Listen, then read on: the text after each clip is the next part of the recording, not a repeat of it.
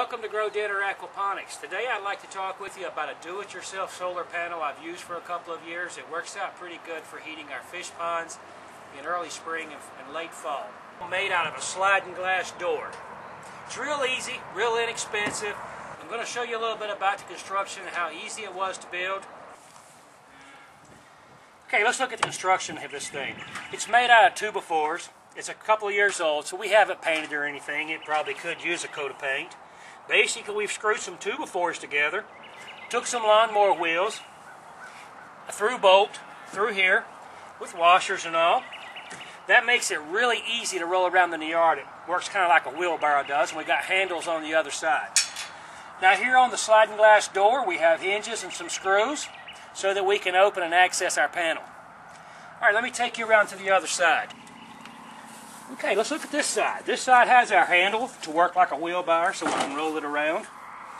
This is in from our pond, our inlet.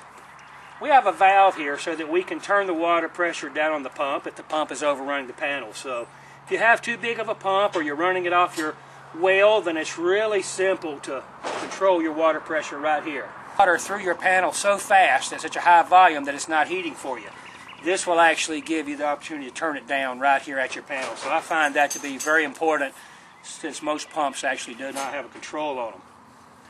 What we're using here is PEX. Uh, PEX plumbing, it comes in a roll. You can buy it at almost any hardware store. This is actually not the best connection here. I just didn't have a connector here and there's not a lot of pressure so I used a clamp. You can actually get a fitting here for the PEX. And PEX fittings come in two types. They have a screw together fitting and they have a tool and crimp method. So, but PEX, you may find that really works well for you around aquaponics. Okay, let's open up our glass panel and take a look inside. A small board actually helps you. You can just stick it in there. Okay, inside we've got a 1 by 6 Just screw to the bottom to kind of let some air circulation move around in our box. Then we've got PEX. PEX plumbing, the same thing we have on the top. It is wound in the same pattern as the top is. Then we have corrugated roofing metal. The corrugated has waves in it, so that'll help reflect more sunlight and draw more sunlight to your PEX plumbing. A piece of flat metal will not give you the same effect as what I have found. Okay, a lot of holes, a lot of zip ties. Just start at the top, roll it nice and neat, do it on a fairly warm day, and PEX will bend a lot easier for you. It'll just kind of mold into place as you start. It comes on a roll, so it automatically rolls for you.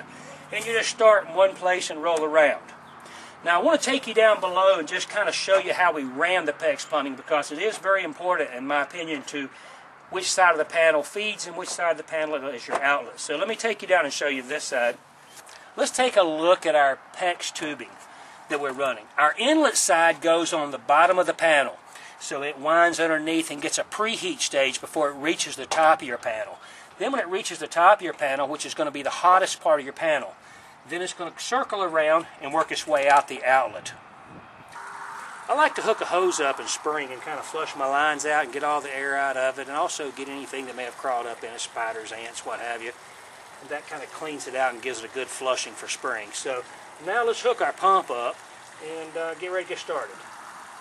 It actually started drizzling rain some, so what we're going to do is call it a day for today and come back out tomorrow on a little prettier day. He's tired. It's been a long day of videoing.